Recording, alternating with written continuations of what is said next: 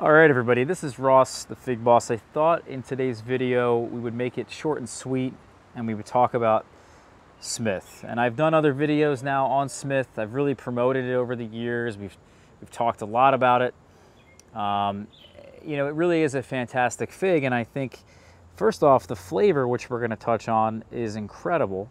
I have a number of my trees now, actually I think all of them, that have come out of the greenhouse. They're in containers. They got an early head start to the season. They're now fruiting in the first week of August. And uh, they're actually really, really tasty just because the weather now is, is almost perfect fig weather or as perfect as I can get it here. Um, and obviously it's a very tasty variety, but, but also I want to touch on the production because a lot of people claim that Smith just isn't a very productive variety and that's just not true. Uh, my claim is that it, it is a productive variety, but the problem is it needs a lot of light to set these fruit buds. So if you're not willing to open up the canopy, really put these branches here on a nice angle, as you can see, here's my tree. I've really tried to open the center and bend these branches and really stake them. You can see this branch here was staked almost horizontally this year to try to open that up, try to get more light in here.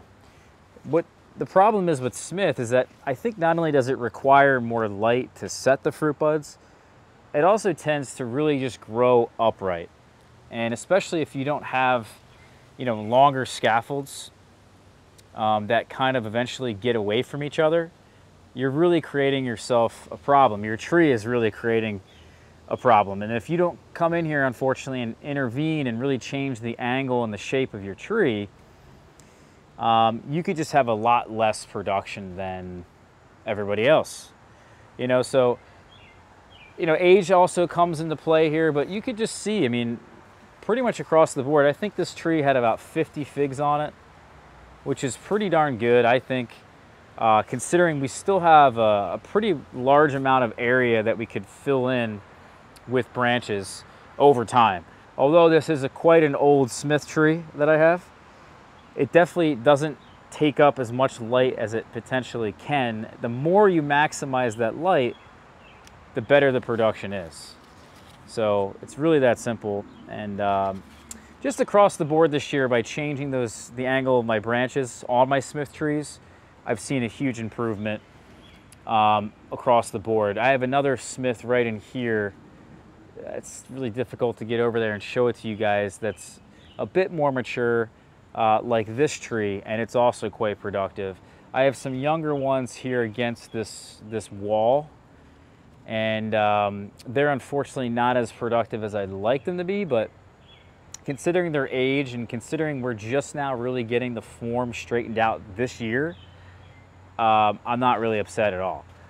So I think just for the record, just for people to, um, you know, kind of set the record straight, this is the change that I've made and it's made a huge difference. And therefore, you know, people saying or claiming that Smith is just not productive is just straight up wrong. Um, now, is it more productive than other varieties? Well, that's a good question.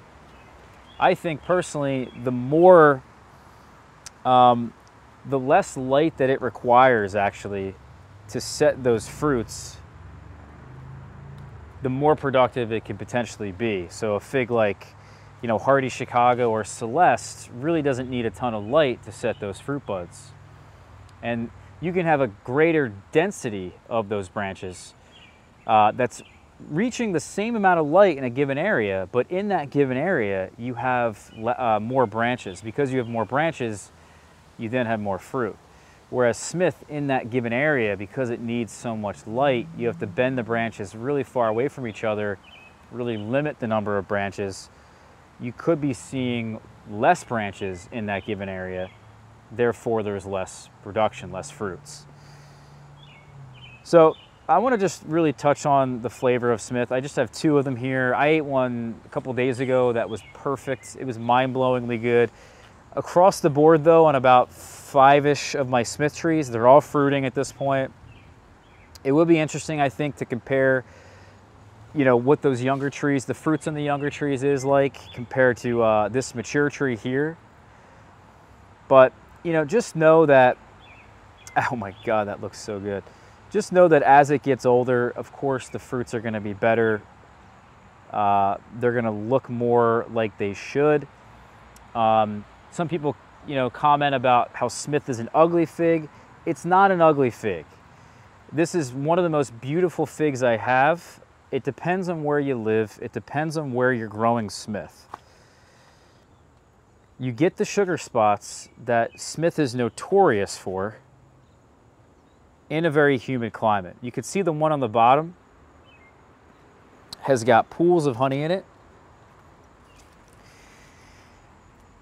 So this fig actually produces a lot of its own nectar. And the one on the top is a little bit less ripe. But it is shockingly beautiful inside and out. And I think it's beautiful on the outside because really what it, it does is it produces this green or yellow undertone and then over top as it ripens, it starts to turn dark. So if you're really wanting to know if your Smith is super well ripened, you can always tell by the, the skin color or if it's mature, you got the right nutrients. You can usually tell by the outside because it's dark purple. You're starting to get those darker colors.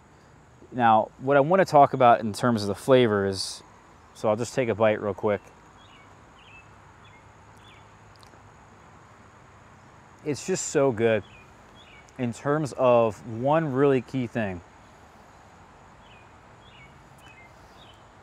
This is a fig that has really nice stickiness to it. I think it's quite thick. Uh, the pulp is quite thick, so it's it's not on the level of something like a Col de Dame that is really thick, like uh, like a can like a pancake batter or a cake.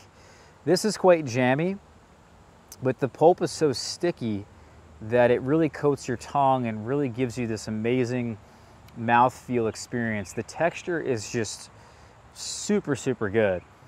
Um, and then of course the flavor, it's quite an intense berry flavor. There's some acidity. It's a little sharp. It's just so smooth, exquisite. And that coatingness of your tongue is really so impressive that you don't normally find that in most figs. There are others, of course, that I've documented and I talk a lot about. I think that's really what separates the amazing figs, the amazing tasting figs from the bad ones. If you go into my spreadsheet down in the description of this video, you'll see I have a, a flavor profile section there on the first, the first sheet. At the end is a section called Elegant Berry. And uh, you have figs in there like Azores Dark. Uh, you could probably put Malta Black in there if it's not already in there things like Italian 258, Black Madeira. Um, I think uh, Smith is in there, Bourjassotte Grise, Violet Sepor. Um, there's a number of these figs that I have in that list, and I'll continue, hopefully, if I can remember to find some time to add to that list. But there, there are certain figs that just, because they coat your tongue like that, in my opinion, they're just elegant. They're exquisite. They, have that characteristic that you're looking for that uh, really is just next level, you know, um, in terms of it just a fresh eating experience. So for me, it's so hard to beat this fig, guys. Um, I highly recommend it. Of course, I've been trying to promote it for years, and I know a lot of you guys love it, and a lot of people are kind of catching on now. It just really, you can tell, like it like glistens but it, it also really kind of glistens on your tongue. You know, there's just something about it that, like a nice wine, coats your mouth and really leaves a, a lasting imprint of the flavor. This one certainly does, and I, I've eaten figs after this, and it always distorts the flavor, believe it or not, because this fig Smith is still on your tongue um, for a while after you eat it. So if, even if you eat something else or you eat another fig, it really does change, in a sense, the flavor of uh, what you're eating. Um, it's pretty nuts. So anyway, guys, there's a little bit on the production. There's a little bit on the flavor. We'll see you guys soon, all right? Take care. Hit that subscribe button. We'll see you guys for more uh, fig reviews and fig-related videos on the channel. See you for the next one.